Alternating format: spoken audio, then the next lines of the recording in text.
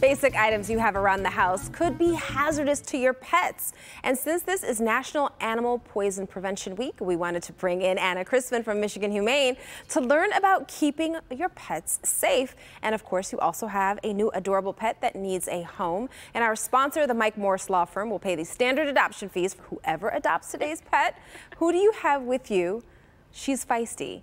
She is a little on the feisty side. She lives up to her name. So everybody, her name is Xena Warrior Princess, um, and she is definitely all about like being your large and in charge cat. So she is super active and energetic. Um, got a little overwhelmed when we first walked into the studio today, um, but she is really, really sweet and lovely. Loves to play. So if you're looking for a cat that wants like playtime interaction, toys, you know, chase the laser pointer, all of those things, Xena is definitely your gal. Alrighty, so what kind of home would be a good match for Xena? So Xena is definitely looking for a home, again, that's gonna provide her with lots of outlets for her energy. She does really enjoy being an active cat. She also likes to cuddle, as you can see. You know, yes. when she gets calm and comfy, she really enjoys the chance to spend time with folks. Um, she doesn't have a history with other animals or with children that we're aware of, so if you do have kids in the house, we would love to have you come down with them um, so you can meet Xena and make sure that she is going to be a good fit for the whole family. Okay, all right. Now let's get into the serious part. So what kind of household items may be dangerous for our pets? Like we need to be aware of this. So Tati, it's a great rule of thumb when we're talking about um, preventing poisoning with your pets is actually think of it as though your pet,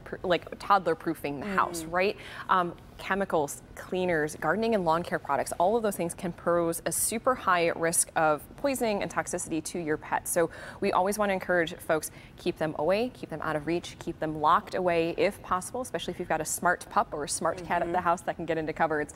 Um, you want to watch out for symptoms of poisoning such as vomiting, if they're not able to stand, if they're tremoring a lot.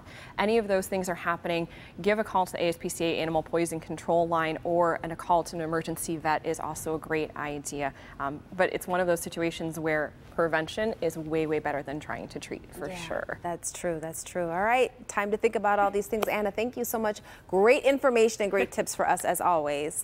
Xena, you okay? She looks like she's calmed down quite. I know. She's just like, this is fine. That's good. That's good. And remember, everyone, the Mike Morse Law Firm will pay the standard adoption fees for whoever adopts today's pet of the week, little Xena here.